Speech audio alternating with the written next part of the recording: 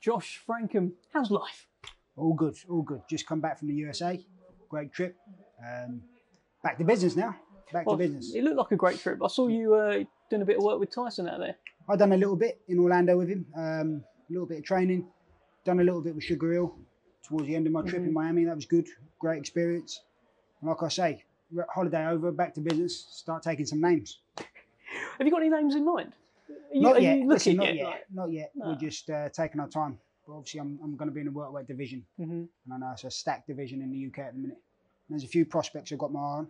Who's- I saw the I saw the uh, the boxing news um, rankings this week, Mhm. and there was a few above me I've got my eye on. So we'll take it from there. Is there anyone in particular or you just want to keep it to yourself? I'm going right to keep it to myself for a minute, but um, a couple of fights time, start building some things definitely.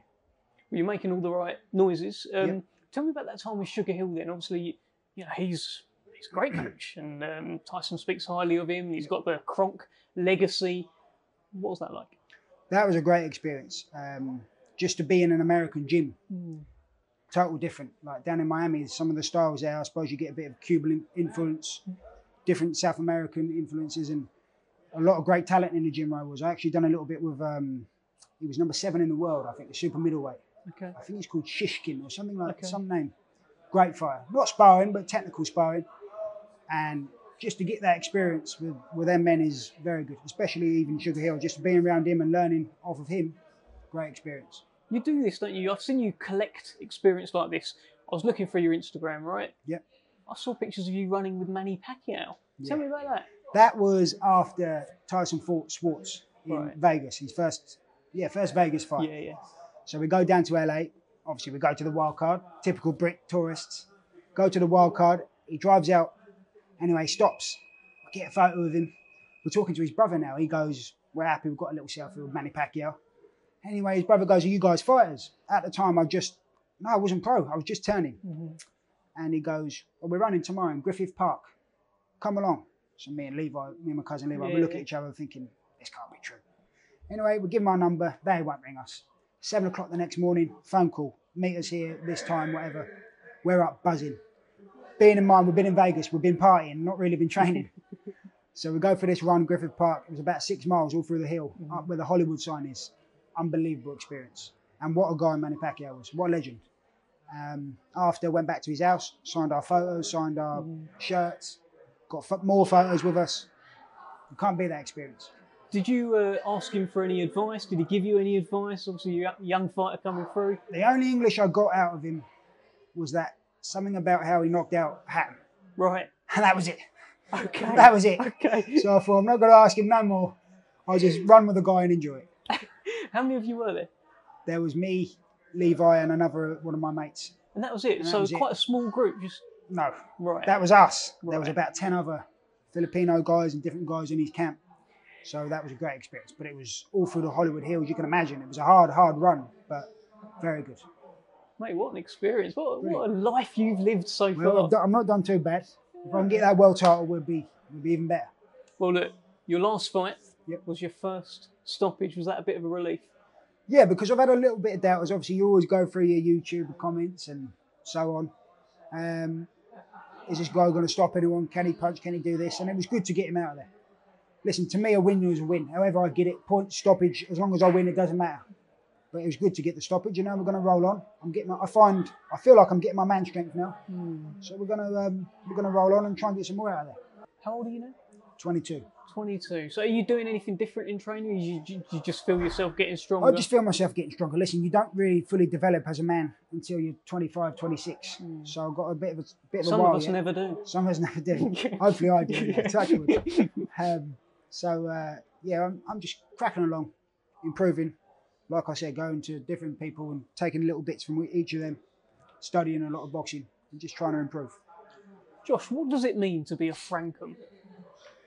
What does it mean to be a Frank? My my family, to be honest with you, we was probably the first traveller boxers, proper traveller boxers, going back years ago.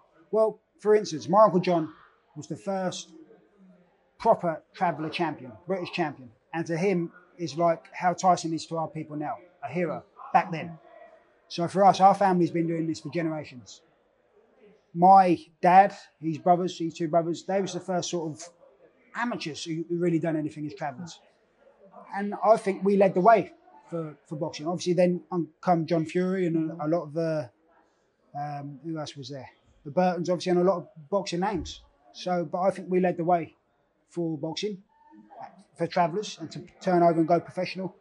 Um, and obviously Tyson took it on, and Billy Joe and Andy Lee, and they've all gone on and done much more.